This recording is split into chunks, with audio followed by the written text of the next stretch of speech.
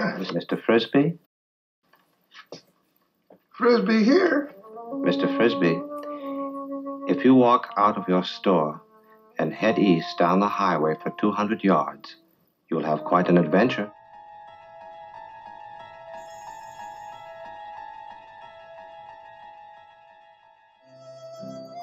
What's up, everyone? Today on our Twilight Zone Marathon of Reviews, we'll be talking about another one of the comedy episodes. Here we go again. I know, I know. These generally get a bad rap, but this time out, we'll be discussing Hocus Pocus and Frisby. This is actually one of the better comedy entries. Say, did I ever tell you fellas about the time I gave a demonstration with the computer machines? And I beat 'em all by 21 seconds. Hocus Pocus and Frisby was episode 30 from season 3. It was directed by Lamont Johnson, and it was adapted by Rod Serling from an unpublished story by Frederick Lewis Fox. As always, spoilers are ahead. The reluctant gentleman with the sizable mouth is Mr. Frisby. He has all the drive of a broken camshaft and the aggressive vinegar of a corpse. As you've no doubt gathered, his big stock in trade is the tall tale.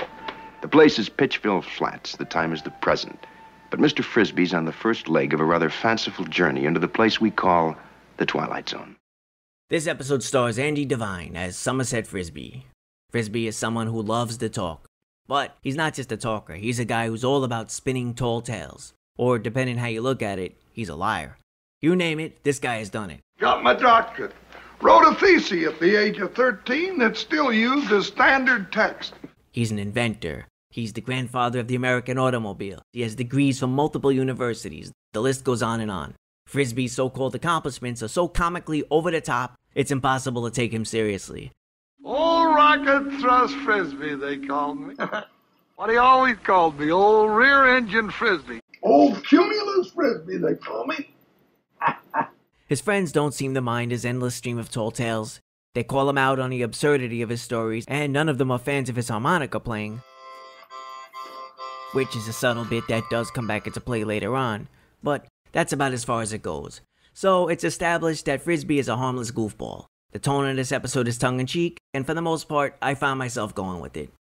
Frisby owns a small general store, there's not a whole lot of action in this little corner of the world, so it stands to reason a guy like Frisby would keep the locals entertained with his endless tall tales. Needless to say, this is the Twilight Zone, so obviously, we do get something out of the ordinary to keep us hooked. Frisby encounters two unusual men who find him to be quite fascinating. This is the man. Frisby. Is that his name? Frisby, an incredible specimen.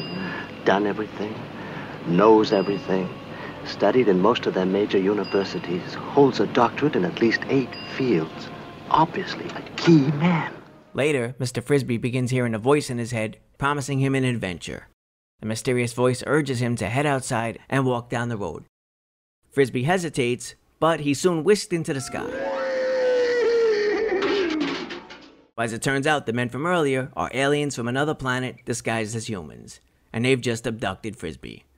Why have these alien visitors abducted Frisby of all people? Well, apparently they want to add him to their collection of specimens from other planets. Interestingly, the aliens completely accept all of Mr. Frisby's tall tales at face value. They have no idea what a lie is. And because of his supposed accomplishments, they see him as the finest the human race has to offer. So this is sort of the funny aspect of the episode, and Frisby openly admits he's nothing but a massive liar. I'm just an old country boy with a big mouth. In any case, the aliens disregarded his pleas to go home. As the situation grew heated, Frisby lost his temper, and I got my favorite moment in the entire episode.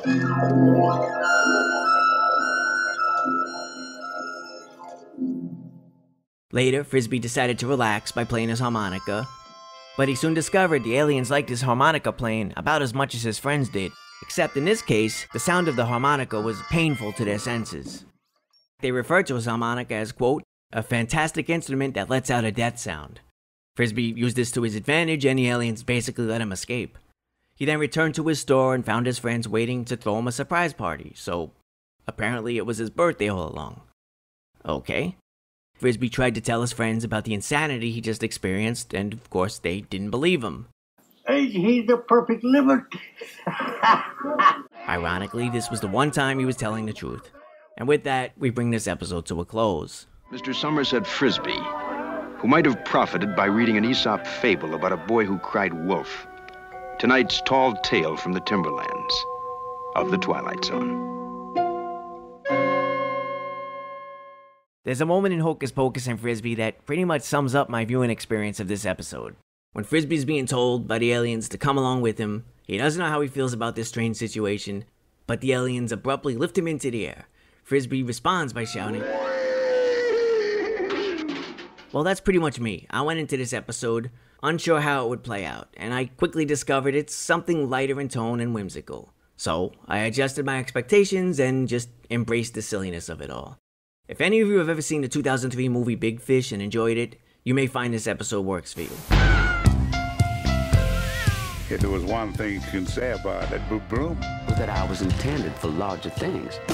Big Fish is one of my favorite Tim Burton movies. It starred Ewan McGregor as Edward Bloom. Albert Finney played the character as an older man. On his deathbed, Edward recounted fantastical tales of his life. Much like the lead in our Twilight Zone story, Edward also had a passion for over the top storytelling. Among Twilight Zone fans, at least, Hocus Pocus and Frisby is pretty well liked. It's not considered a top tier episode, but for the most part, fans enjoyed this simple little tale. For me, one of the highlights was definitely the scratchy voiced Andy Devine. Old Archimedes Frisby, they called me. Devine turned in a unique performance. Frisby is an interesting and likable enough character. Sure, he rattles off a ton of unbelievable stories, but he's harmless, and at the very least, he has an easygoing, cheery outlook, which is refreshing. Devine had a career that spanned decades. He had several roles in westerns, and he appeared in television as well. Also, fans of Disney's classic animation may recall hearing his trademark raspy voice in Robin Hood from 1973. Oh, for heaven's sake, son. Devine was the voice of Friar Tuck. well that ain't it? Another highlight of this episode is yet another appearance of the famous C 57D spaceship, which originally appeared in the 1956 movie Forbidden Planet and the 1965 TV series Lost in Space. The ship actually appeared in a total of eight Twilight Zone episodes, so you can bet I'll be talking about it again. Another prop which featured quite prominently in the episode was the cool dome device we see on the alien ship. This was actually the Astrogator from Forbidden Planet, which was pretty cool. It's always great to see these iconic props show up. And then there's the aliens. Now, for my money, the greatest moment in this episode was when Frisby nailed one of them and the alien's face shattered, revealing his true identity. This was a simple enough practical effect, but it worked extremely well. And on a first viewing, it was so unexpected. Had this episode gone in a darker direction, these aliens, with their stiff and lifeless expressions, could have worked just as well as threatening villains. On that note, these were some pretty interesting aliens. In human form, they had a peculiar way about them. They're clearly suspicious from the get go. And the fact that they took Frisby's words at face value and didn't quite understand lies was a nice spin. This bit actually reminded me of the aliens from the Galaxy Quest who also seemed to be baffled by the concept of human beings lying. Is there no one on your planet who behaves in a way that's contrary to reality? You are speaking of deception, lies. lies. Uh, this word, lie, Uh, that you mentioned. You get the point. Aliens are confused by human behavior, which is understandable. We confuse each other all the time anyway. Lastly, I wanted to mention the aliens here were quite different from what we've seen in the Twilight Zone previously. Again, this was a story that was lighter in tone, so these guys were far less ominous than the Canamites who appeared in To Serve Man. We are here to help you. Nope. Granted, these aliens did attempt to abduct Frisby, and they did want to make him a zoo specimen, which are familiar elements we've seen in previous episodes, but here, everything's played for laughs. It's tongue in cheek. Even Rod Serling's narrations are fairly light-hearted, with Rod smirking and noting this is a fanciful journey. Now, whether or not you find yourself chuckling depends on your own tastes. As I've previously noted, I think if you accept that this episode isn't meant to be taken seriously, then it's possible to go along with it and enjoy the ride. There's no profound statement on the human condition, and our lead doesn't really suffer any ironic punishment. Instead, we end up with the Twilight Zone version of The Boy Who Cried Wolf. Did Frisby learn a lesson? Will he stop lying so he doesn't get whisked into space again by aliens? Nope. In any case, there's a fun sci fi B movie vibe to this entire episode. The aliens and Andy Devine were all very entertaining, and as always, Rod Serling's witty dialogue really shined. I ended up liking this a lot more than I thought I would. Hocus Pocus and Frisby may not be for everyone, but I enjoyed the heck out of it. I'd rate Hocus Pocus and Frisby a solid 3 out of 5 Frisby punches. That's it for me. Guys, if you like this, please hit like, hit sub, you know the deal. Until next time, stay safe, be well. Later.